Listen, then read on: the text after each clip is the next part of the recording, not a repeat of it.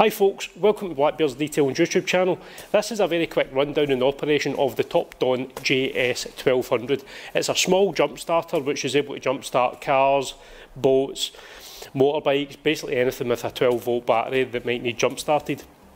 Uh, the basically this was a wee gift from my wife. She'd asked me if I wanted something uh, for my birthday and I've managed to kind of sneak it a wee bit earlier, sorry, Christmas. I've managed to get it uh, earlier from her because I basically need it for use up in the unit. I've now picked up my own motorbike, so I basically wanted something to be able to jump my own one. But lo and behold, the customer's bike, it's been with me for just over a week now. Uh, the trickle charger wasn't jumped off, uh, dropped off with me, and it is failing to start. So basically this is the perfect time to give it a wee shot uh, and try it out. So uh, what I'm going to do is I'm going to pull the, uh, the camera around, I'll take the seat off and we'll get this thing hooked up and we'll see how it works.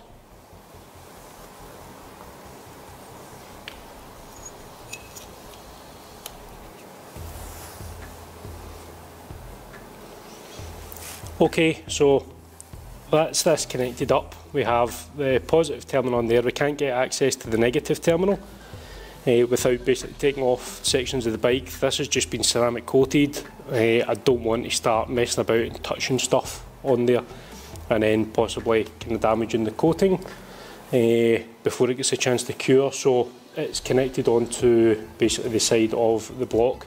The actual uh, kind of engine earth is just down here. However, these clamps are too big to get to them.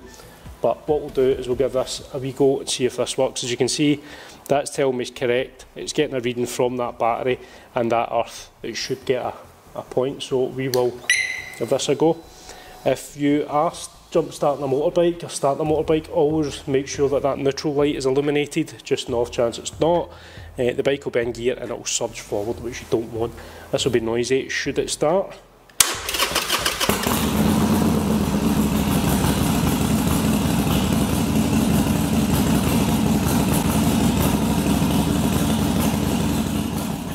So as you can see, it's really not the hardest bit of equipment in the world to use. Uh, the actual feel of it feels really quite robust.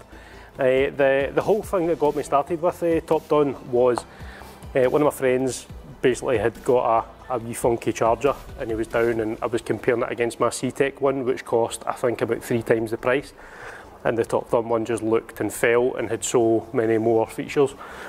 So when the time came I was looking for that, I just went for a Topdon one. Uh, the kind of input section to charge it is a USB-C. Uh, the, when I got it, it came and it was about 75% charged. I plugged it in here and within a couple of hours it was up at the 100% mark. Uh, the operation of it, when you plug that in, it turns itself on automatically. So there is only one way in which you can put that on. So plug it in and there we go. It gives you the uh, the, the battery percentage and turns itself on. Uh, the it also has the capabilities to be used as a power bank. So if you're out in the middle of nowhere uh, if you've if you've kept it in your car and you get caught out in the winter months then you can just plug it into your, your phone and it will keep your phone nice and charged as well. It also comes with a wee torch uh, on the, the bottom of it. So you hold it in for three seconds and there we go, the torch turns on and if you click it once it goes to strobe and if you click it again it goes to SOS function and press it a third time to turn it off. Uh, it's pretty well made, it feels quite robust, there's no like squeakiness to it, it certainly does not feel flimsy at all. Uh, don't be wrong, we don't want to be dropping it chucking it about the place, but uh, it's good to know if you were to drop it, it's probably going to be able to withstand that. It's got a kind of rubberized, angular uh, kind of edging to it as you can see so if it drops it's probably designed to take a wee brunt of the, the fall.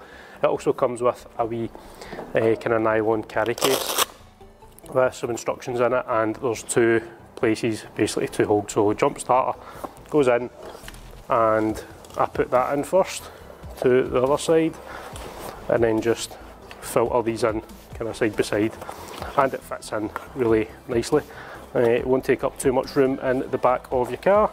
And there we go, that's it. All stored away, so it's not as if it's like a, uh, packing everything in to try and get it in place. So, I got it as a gift from my wife. She ordered it from Amazon. Uh, right now it's sitting at £75.99, so 76 quid, and there's also a little 15% voucher thing uh, on it if you click on it.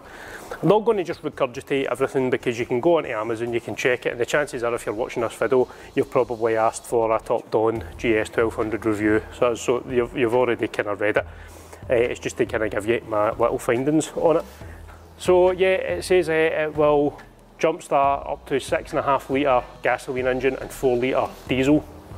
Uh, it's a 12 volt charger. Uh, everything you can read up online. I'm not going to regurgitate it all. So yeah, this is a, a quite a handy wee thing. Very first time I've used it on that bike and uh, done it without a hiccup. Just say uh, make sure that you're using correct points uh, on the, the, the vehicle you're looking to charge. Make sure the negative is an actual negative uh, terminal point and not just something that might just look like a bolt kind of sticking out from somewhere because it basically won't jump start it at that point. But yeah, hope you've enjoyed the video and uh, please hit the wee subscribe button. Take care, thank you, goodbye.